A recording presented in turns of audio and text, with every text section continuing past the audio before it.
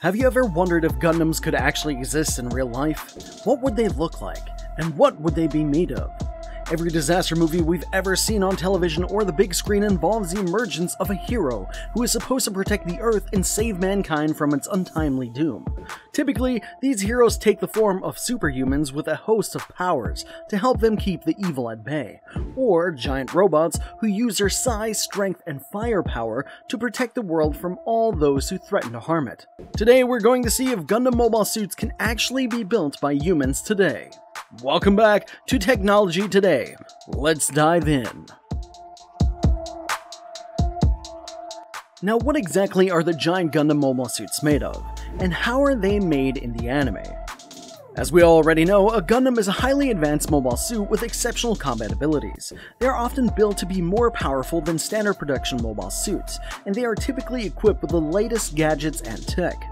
The Gundam universe is vast and wide, so the condition and stature of the mobile suits depend on which series you're referring to. Generally, however, Gundam mobile suits can be made out of one of two unique substances. Luna Titanium, and Gundanium Alloy. Now remember, if you want to learn more about all things Gundam, stay up to date and informed with the hottest and latest tech, and have the world's most fascinating and most brilliant innovations brought straight to your screens, subscribe to my channel and click the notification bell to keep yourself in the know and up to date. So what are Luna Titanium and Gundanium Alloy? Luna Titanium came about around the time that the Earth Federation designed the RX-78. They were in a search of a material that was strong and heavy duty, but lightweight at the same time. Back then, they did not have the facilities or the equipment for mass production and maintenance. Metals like titanium were not good on their own because their quality degraded over time. This prompted engineers to experiment on potential alloys to use for the construction of the mobile suits, and they came up with a new lightweight alloy by UC0064, which they dubbed the Luna Titanium. This was excellent material for the mobile suits because they were not easily destroyed, especially by projectile weapons. Projectile weapons were only able to scratch the metal alloy, which made the Zeon mobile suit's machine guns practically useless. The alloy was eventually renamed the Gundarium following the One Year War to honor the RX-78-2 Gundam and its pilot for the contributions during the war. Gundanium alloy, on the other hand, is a compound that could only be made up in space because of its zero gravity conditions. It is much stronger and much more heat resistant than titanium, and it also does not conduct electricity. It also cannot be detected by radar. The downsides for Gundanium alloy, however, is that it is incredibly expensive and difficult to manufacture, which makes it unfit for mass production. The alloy can also only be created in space using the most advanced techniques, the process for manufacturing Gundanium was called Genetic on Universal Neutrally Different Alloy, or GND for short. The alloy is built from lunar titanium and GND ores, which can only be found and mined from the moon. This type of material made the armor virtually indestructible. So given that those two materials are what Gundam mobile suits are typically made of, does that mean it's possible to have real-life Gundam mobile suits on Earth? Well, the short answer is yes. And no. It is possible to develop and engineer bipedal walking machines that can move around just like Gundam mobile suits can. We can also build machinery and vehicles the same size as Gundam mobile suits, which we can see in modern warfare. Just look at how massive some tanks and jets can get. Additionally, back in September of 2020, the Gundam Factory Yokohama unveiled the 60-foot replica of an RX-78-2 Gundam mobile suit as seen in the original Gundam mobile suit series. The clincher? The giant robot was able to move on its own. It could walk, kneel, move its arms, and wiggle its fingers, so to speak. It even had the ability to open and close its eyes and turn its head. The reveal of this giant moving robot thrilled fans across the world, with many wondering about the other capabilities of this robot. We should also give props to the advancements we've seen in the robotics scene over the past few years. Engineers and scientists have been able to develop and create various remote-controlled autonomous and semi-autonomous machines that have helped greatly improve human life and have helped us discover more about the world around us. Just look at the robots we've sent up to space and down under the sea to further explore the unknown.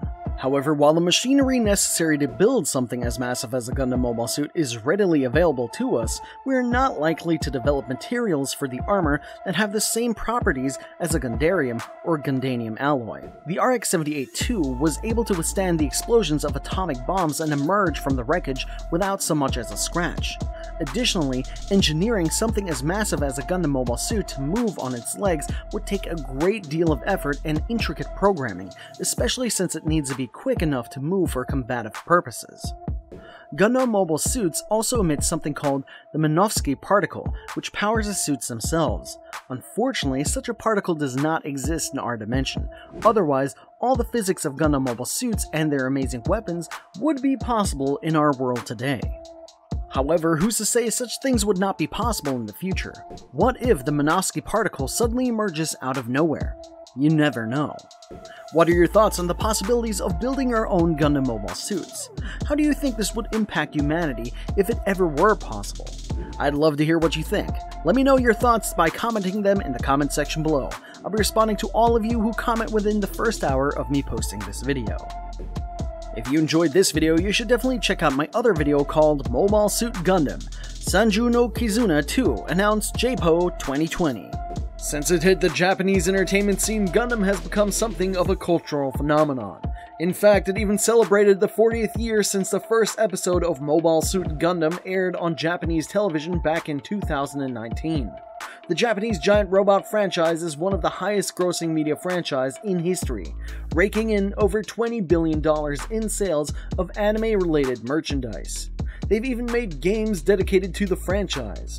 Over a decade ago, on the 7th of November 2006, Kido Senshi Gundam, Senjo no Kizuna, or Mobile Suit Gundam Bonds of the Battlefield, was launched in arcades all over Japan.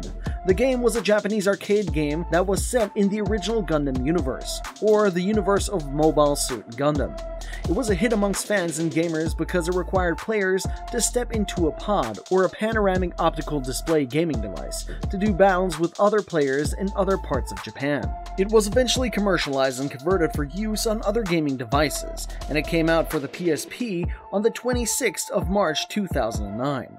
Now the Gundam Phantom has been offered a wide range of merchandise and structures that would allow them to pay tribute to the beloved giant robot anime franchise.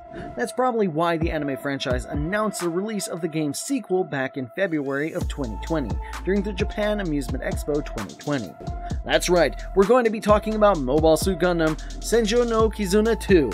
During the Japan Amusement Expo 2020, Bandai announced that the game will be launched for arcade gameplay. What will the game be about? How will it be played? And how will it be different from its predecessor? Well, that's exactly what we're going to be talking about in Mobile Suit Gundam. Senjo no Kizuna 2 announced in JAEPO 2020. Stay connected, stay up to date.